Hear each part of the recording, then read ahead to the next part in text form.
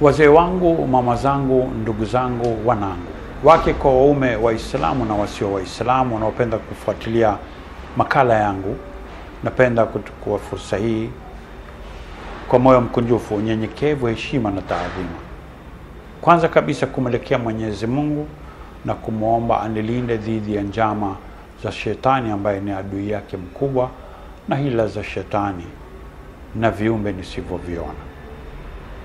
Pili, natumia fursa hii kwa kumshukuru Mwenyezi Mungu kwa kunijalia uhai, afya na fursa ya kukutana tena. Tatu, napenda kutumia fursa hii tena kwa moyo mkunjufu, unyenyekevu, heshima na taadhima kukuamkua, assalamu alaikum warahmatullahi wabarakatuh. Maneno haya yanamaanisha amani ya Mwenyezi Mungu, rehema zake na baraka zake ziwe nanyi nyote. Karibuni kwenye makala mengine muhimu sana, makala ambayo yanatokana na mjadala ambao uko hapa mjini Mombasa, jimbo hili la Pwani, nchi nzima kwa jumla na hata ulimwenguni, makala ya miraa na muguka. Natumai wewe ni mmoja katika ambao wamefuatilia makala haya kwenye vyombo vya habari tofauti, na katika mambo mimi ambayo napenda kuyazungumzia zaidi ni yale ambayo yanakuwa yanagusa jamii, kueleza na athari zake. Mti wa miraa na mogokaa unakuzwa kwenye nchi tofauti ulimwenguni, lakini nchi zinazosifika na kujulikana zaidi kuhusu kukuza miraa ni nchini mwetu Kenya, South Africa inatajika, Ethiopia ni katika nchi ambazo ziko mbali sana kuhusu mambo haya, na Yemen ni nchi moja ambayo pia inahusika na kukuza miraa na kutafuna miraa, watu wa sehemu hizo. Lakini mara nyingi watu wanapozungumza hawazungumzi mambo haya kitaalamu, na mara ya kwanza yameanza kujadiliwa kitaalamu, na katika kujadiliwa kwenyewe si wengi wanaotumia hikima ya kuja kwenye lugha ya kawaida ya kueleza watu yale yanayopaswa kuelezwa watu, sio wanaopenda watu kusikia, kama ilivyo msingi wa makala yetu tunapokuwa tunajadili na waangaliaji. Mi naomba ufuatane na mimi kwa sababu nitatumia nakala, nyaraka, kumbukumbu ambazo zitaweza kukufaidisha wewe kuelewa hii mada kama ipasavyo kueleweka. Mjadala kuhusu miraa umeanza mwaka 1890 sehemu tofauti za eneo hili la Afrika Mashariki. Pana nchi ambazo zimepiga marufuku miraa na hawataki, na kuna kanuni ambazo zilitungwa kuna ya mwaka 1945 1946 1949 na 1951. Kisha nchini Kenya, baada ya kupata uhuru Kenya, wana kanuni ambazo wameweka wao, wanaita the Crop Act, yani kanuni za mimea. Lakini katika kuweza kutunga kanuni zile wametia mmea wa miraa kwenye chakula, na hapa ndipo palipo na mvutano. Lakini je, wewe unajua kwamba kanuni yenyewe the Miraa Regulation Act inaeleza nini? Je, unajua Miraa Regulation Act ya mwaka 2013 ilikuwa imepanga kabisa namna miraa itapandwa, nini kinatakikana wewe uwe mpandaji, namna miraa itatundwa na kukusanywa, nini kinapaswa kufanya ili wewe uwe mtundaji na mkusanyaji miraa, namna miraa itakavyosafirishwa na nini unapaswa kufanya wewe ili uruhusiwe kusafirisha miraa kutoka eneo inayopandwa na kutundwa na kukusanywa mpaka eneo unakwenda kuuzwa ili iwe itatafunwa au kwa maneno mengine watu watakuwa wanakula. Je, matakwa ya kanuni ile ni yapi? Hakuna mahali pengine ambapo utajua mambo haya isipokuwa kwenye video ambazo huwa unaziangalia kupitia mtandao wa Stambuli wa Sheikh Abdullahi Nasir. Kitu ninachotaka mimi kukuomba wewe ni ufuatane na mimi kwenye makala haya, tuangalie yote tuliyozungumza, historia ya mambo yenyewe, tuangalie kanuni zake, na je, utekelezwaji, nani ametekeleza lipi? Je, kama miraa inaingia kwenye chakula, je, kama miraa inaangaliwa kama cash crop, mmea wa kuleta fedha, kwa nini umetiwa kwenye Agriculture na Food Authority kusimamia mmea ule? Je, tuangalie kanuni za Agriculture na Food Authority zimetaja miraa au mokoka? Kama la, ni nini mapungufu na udhaifu wa kanuni yenyewe? Fuatana na mimi tafadhali, usikubali tu ninayosema. Nikishasema, ukishasikia, pima na uchuje. Ukishapima na kuchuja, wewe pia fanya utafiti wako ili uweze kujua ukweli wa mambo ulivyo. Karibuni. Baada ya kuwakaribisha, mimi naona tuanze kwenye yale niliyokueleza muda mfupi uliopita kuhusu kuanza kuripotiwa maneno haya mwaka 1890 na kuendelea hadi mwaka 1940. Kwenye nakala nzuri sana inaeleza kwamba, na nafikiri waiona we mwenyewe hapo, kwa kupandwa kwa miraa kwa minajili ya biashara. Ilikuwa ikijulikana kutoka Ethiopia kwa muda wa karne kadhaa zilizopita, lakini kwa hivi sasa miraa iliweza kutapakaa, kusambaa kwenye sehemu kadhaa nchini Kenya na ambazo ni sehemu za bara, na kuvunwa kwake na kutumiwa kwake kwa kuliwa ilikuwa imeelezwa na baadhi ya wazungu walioweza kueleza mambo haya baada ya miaka ya mwisho ya karne ya kumi na tisa. Habari hizi za kwanza ziliandikwa katika miaka ya 1890 na wazungu waliokuwa ni wavumbuzi na watu wa kuinja wanyama ambao walipitia sehemu moja ya milima ya Nyambene kwenye sehemu ya Meru. Mmoja wa wazungu hao aitwa Arthur Newman ambaye alieleza kuwa mikutano ya wazee wa Kimeru Igembe, jamii ya Igembe ilikuwa hayawezi kukamilika bila ya kutafuna vitagaa vya miraa. Huyu mwinjaji wa Kiamerika anaitwa Chandler mwingine pia alipita kwenye sehemu hii ya Igembe muda mfupi baadaye. Yeye katika kueleza masuala ya tamaduni za eneo hilo ya kutafuna miraa asema hivi na nanukuu, The young men among the natives are not allowed to eat it. Vijana katika wenyeji wa sehemu hiyo walikuwa hawaruhusiwi kula. The reason assigned for this restriction, sababu zilizotolewa kwa kudhibiti na kupinga kutumika kwa miraa kwenye umri wa vijana being that if the young men are allowed freely to indulge in this plant, iwapo vijana wataruhusiwa kuwa huru kuingilia matumizi ya mmea huu, they would be apt to stay awake at night, wataweza kukesha usiku and be tempted na kushajiishwa under the cover of darkness, kwa kuwa kuna kiza to gratify desires which the light of the day forces them to curb, kuingilia matamanio ambayo kuwako kwa mwangaza mtana huwa kuwazuia kuingilia matamanio hayo. Mwisho wa kunukuu.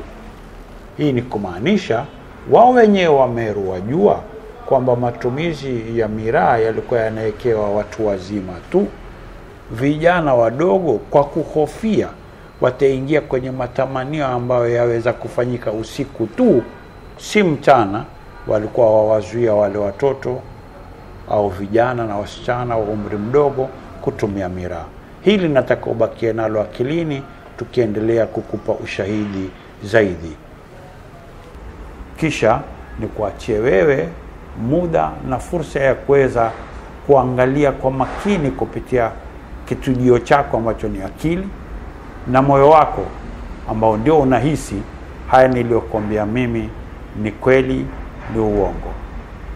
Macho yataona yale niliyokuambia mimi, yatasoma kama nilivyosoma mimi, na baada ya kutafsiri kwa maana yake halisi, wewe utakatikiwa iwapo mambo haya tunayozungumza ni kweli au la.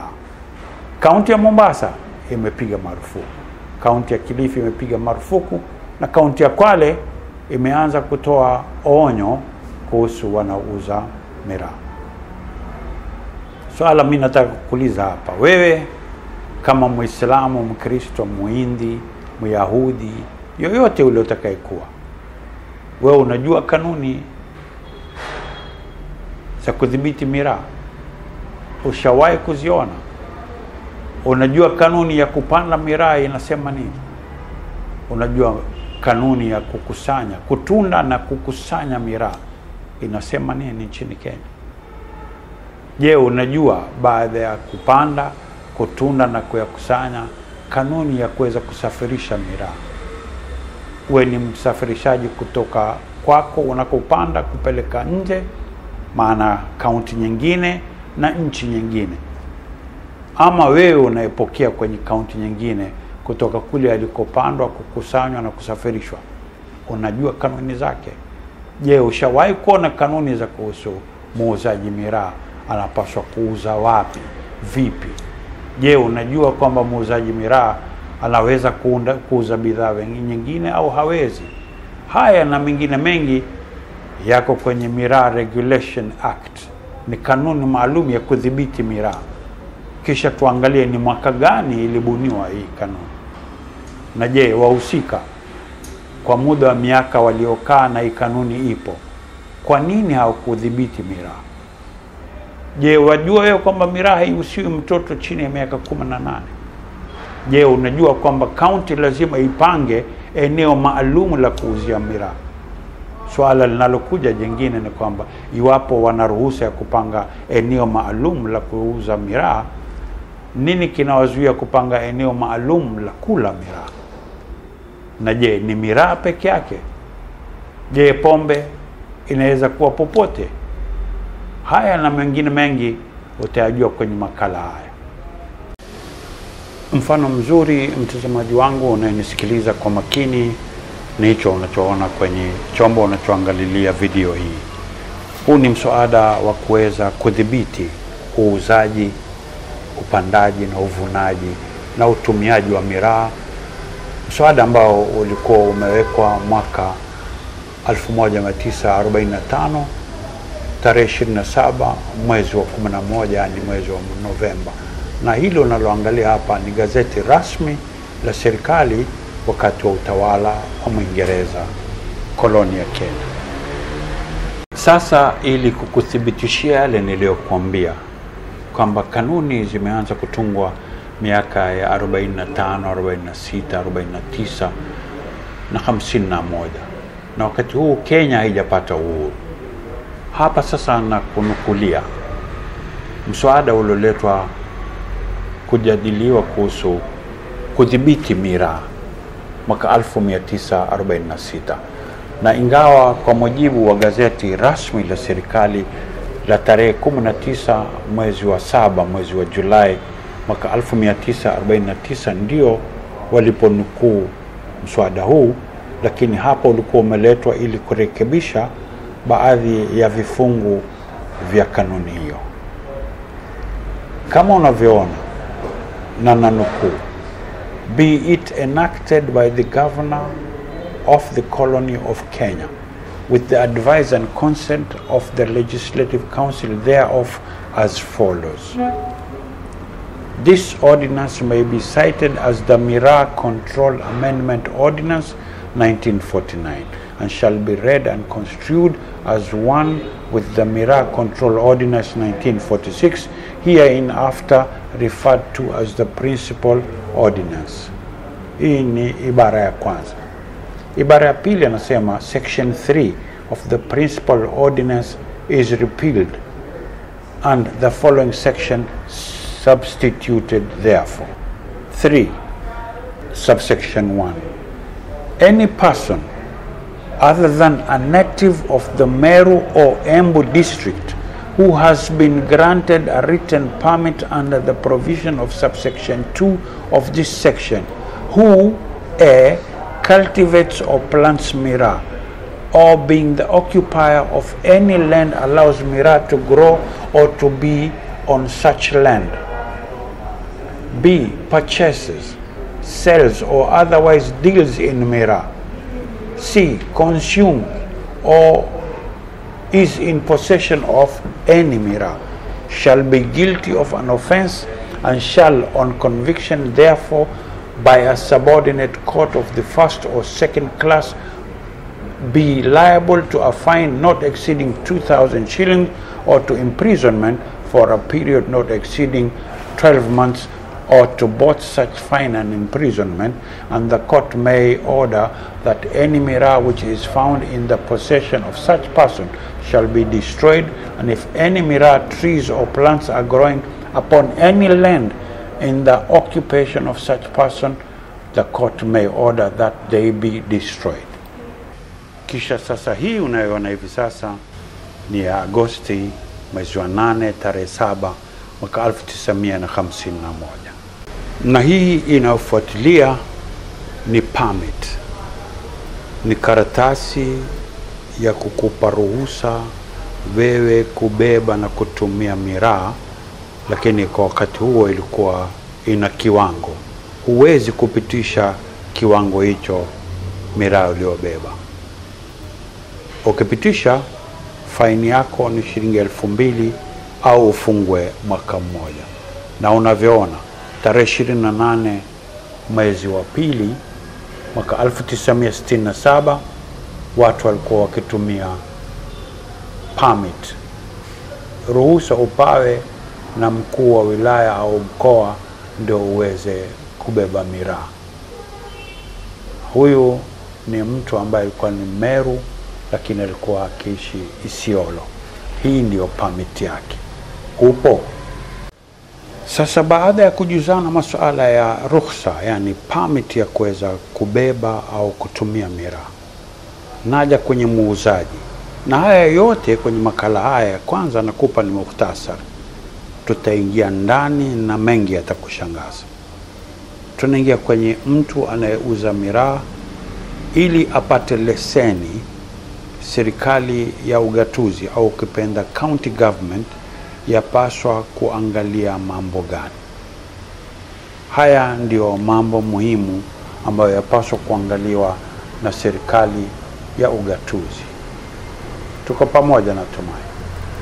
La kwanza la kuangaliwa na serikali ya ugatuzi liko kwenye ibara ya kumi sehemu ya kwanza ambayo kama unavyoona inasema a person shall not carry out business as a miraa vendor without a license issued by the respective county government.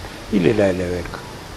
Ya pili kwenye ibara hii ya kumi yasema an applicant for a miraa vending license shall apply to the respective county government in form MR16 set out in the first schedule. Ibara ya tatu yasema kwamba the county government shall before issuing a license to a miraa vendor satisfy itself that the applicant has complied with the following requirements. A. The miraa vendor intends to sell miraa or miraa products at a designated point. And B. The designated point where the miraa vendor seeks to sell miraa is 1. Well marked. 2. 100 meters away from any learning institution. 3. Kept free of and from waste material. And 4. Used exclusively for the sale of miraa. Sasa hili neno well marked 100 meters away from any learning institution kept free of and from waste material and four used exclusively for the sale of miraa. Je muuzaji miraa ukiangalia hii sehemu ya nne ya ibara ya tatu b waona aweza kuuza miraa na vitu vingine? Nataka utafakari usikubaliana na mimi.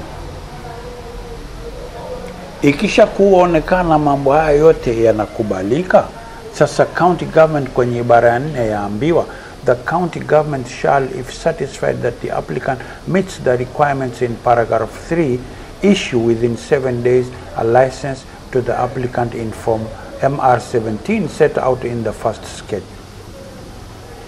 Lakini ibara ya tano sema where the applicant does not meet the requirements in paragraph 3 the county government shall within seven days from the receipt of the application reject the application and notify the applicant of the reasons for the rejection. Kwa hivyo hii ya tatu ni kwa yeye ikiwa ataka kuuza miraa yule muuzaji lazima aweko na mahali maalum palipotengwa watu kuuzia miraa.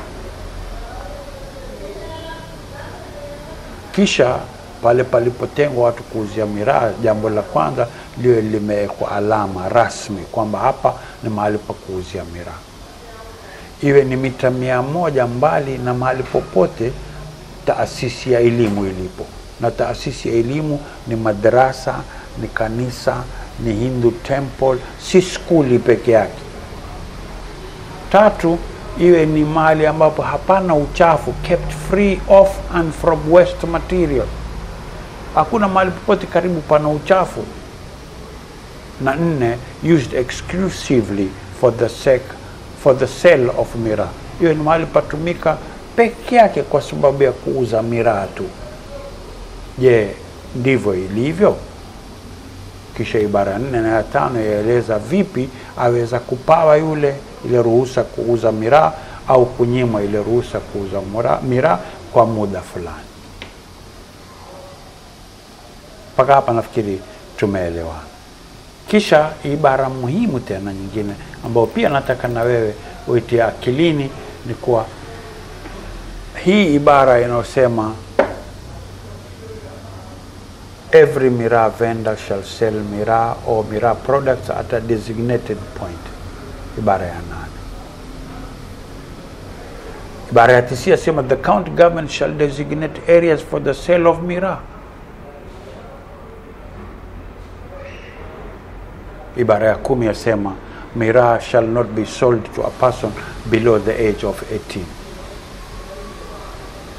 Ya kumi na moja yaonya kuwa a person who contravenes paragraph 1, 2, 8 or 10 commits an offense.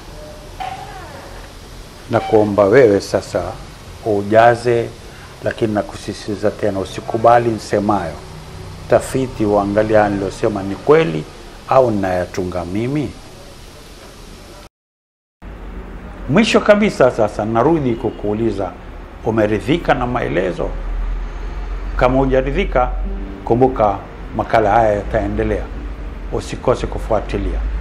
Hakikisha umejisajili kwenye ukurasa wa Istanbul wa Sheikh Abdullahi Nasir, ili ikitoka tu video wewe wajua imetoka mpya, uweze kufaidika na yanayozungumzwa.